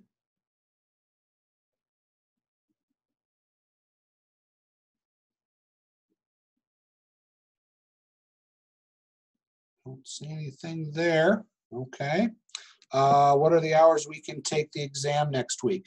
I will send those out. Pretty much we're going to use uh, um, the hours that the computer lab is uh, open, which has been nine to five. Um, the only thing I got to check on, I'll send it out tomorrow um, with some times to, that people can sign up and let me know. The only one I'm concerned about, I'm not sure, because Wednesday used to be a day where we had our advanced class and our enrolled agent class. So I want to make sure to see if Wednesday's open, but it might be pretty much, uh, you know, nine to five, Monday through Friday. Um, I am not here late on um, uh, Tuesdays or Thursdays because I teach. um, up in Lockport, but uh, there are other nights. So if somebody needs to do something after six, excuse me, after five, uh, later to take the exam, I am willing to stay late at night.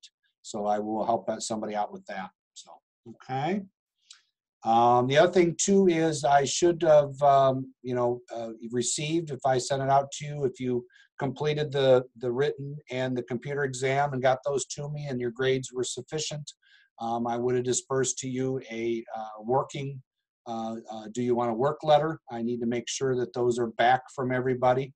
Um, I believe everybody that uh, is here with me today, um, you've gotten yours in, but anybody that listens to this that was not able to be there, uh, make sure you get those back to me as soon as possible. Um, you know, that would be the great thing. So, um, nope, you can't do uh, rental property as business. Well, it depends. Um, there's a lot of variables in there, Stephen, that we could probably spend the next hour working on. Um, but you know, when you have uh, that you are in a rental, um, if it's truly a rental, then it goes on a Schedule E. Now, if you have um, such that you are managing, um, where you're, you know, you're not really owning the rentals, but you're managing rentals, then yes, that would go on the Schedule C. But income from the rental itself is on a Schedule E. Now, some of the things can be handled even more different if we have our rentals set up in an LLC, or we've decided to make it a S corp where it's owned by an entity and not strictly ourselves. So, um, like I said, we could probably spend the next 45 minutes to an hour uh, discussing all the options. But you know, rental property Schedule E. That's all you need to know right now.